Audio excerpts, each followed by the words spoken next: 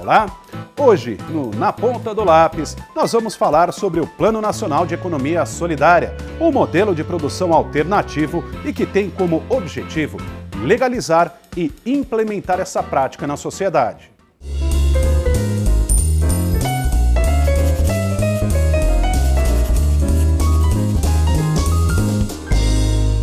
Foi a materialização de muitos esforços e debates que ocorreram ao longo de décadas é, e que aconteceu na terceira Conferência Nacional de Economia Solidária, onde eles colocaram esse foco de ter um documento e acho que isso é um passo muito importante é, na história de qualquer vertente, né, qualquer objetivo que você tenha, você formalizar um documento que esteja lá os seus desafios, seus objetivos, uma contextualização do que acontece no Brasil nesse setor.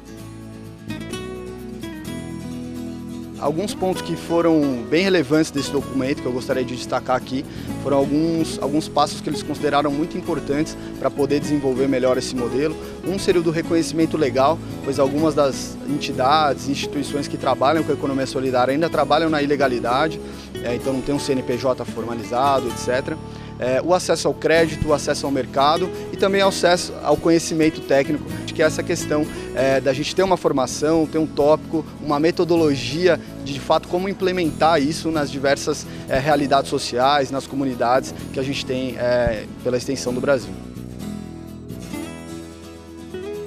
O último dado que a gente tem do Ministério do Trabalho, que os dados mais atualizados são de 2013, nós temos a informação que 1,4 milhões de brasileiros estão envolvidos com isso. Então, um número representativo, visto que é uma corrente que veio crescendo apenas nas últimas décadas aqui no Brasil. Muitas pessoas que antes estavam excluídas desse sistema, procurando emprego, sofrendo com desalento, emprego na informalidade, entendeu que tem a possibilidade de trabalhar num âmbito muito mais horizontal com outros colegas, né, outros trabalhadores, é, em prol é, de um bem comum daquela comunidade, do desenvolvimento, seja ambiental, seja de diminuição de desigualdade raciais, sexuais e também econômicas, né, que a gente tem é, muitas vezes nas periferias. Então, com certeza tem se mostrado um modelo viável e a gente tem essa aplicação em diversas frentes.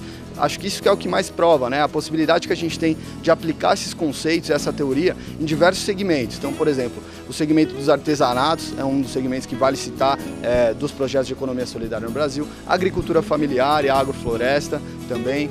É, e também temos o, uma, uma questão muito forte no Brasil hoje, que são as cooperativas de reciclagem de materiais. Esse foi o Na Ponta do Lápis de hoje. Na próxima semana tem mais dicas de economia para você. Tchau!